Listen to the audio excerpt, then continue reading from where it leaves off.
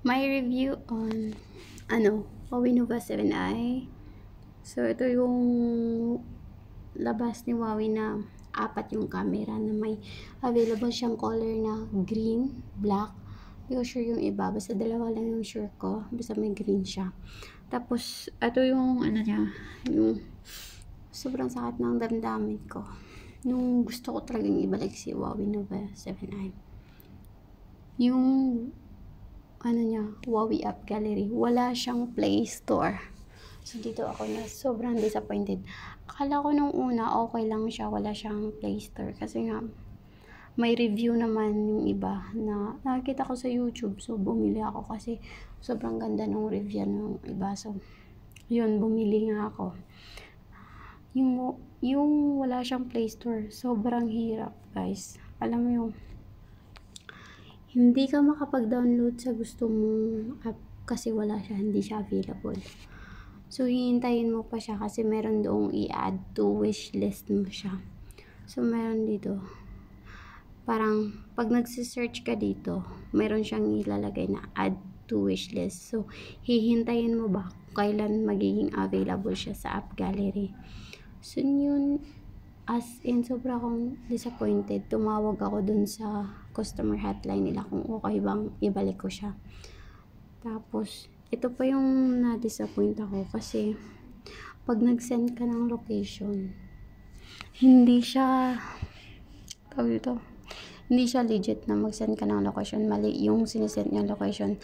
Kailangan kung mag-send ka ng location mo, dun ka sa website mismo, hindi sa app.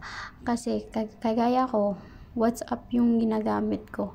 Lalo na dito na tawag na mag-online shopping ka. So, isaset mo yung location nyo. Hindi, merong one time na nag-send ako ng location Malaysia. Hanap ng hanap talaga yung delivery boy. Kung saan yung ano ko, location ko. Hindi siya dito. So, yun ang sobrang disappointed ako sobra.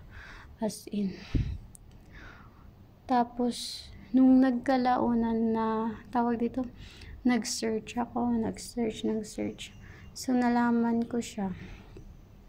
Ganito yung ginawa ko. Pwede kang mag-install ng google mo.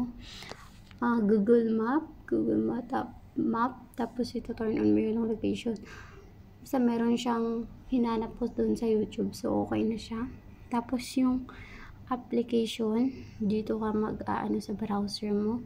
Tapos ito yung APK Pure. Dito ako nagda-download. Sobrang legit din naman. Ang bilis lang din mag-download. Tapos yung good side ni Wow. Kasi dati meron akong Huawei Y6. Sobrang ano ko, fan ni Huawei. So kasi hanggang ngayon, okay pa yung cellphone ko. So magbe 3 years na siya yung Huawei Y6 ko.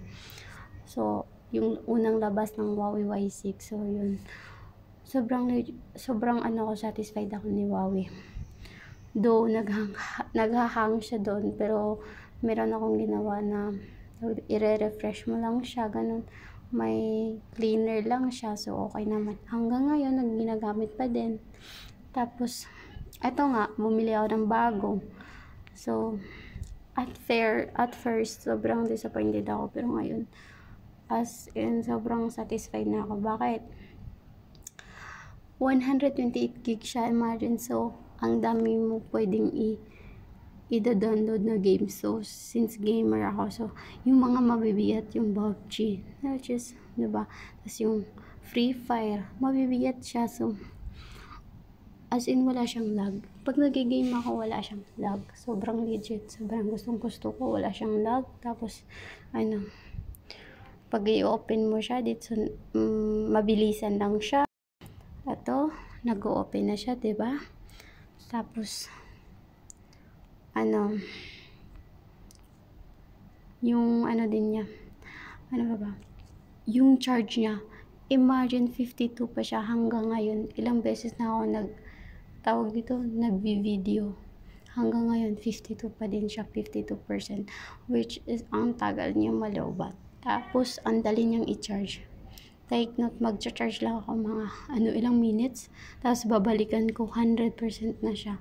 So, sobrang happy ako. Ngayon happy happy ako.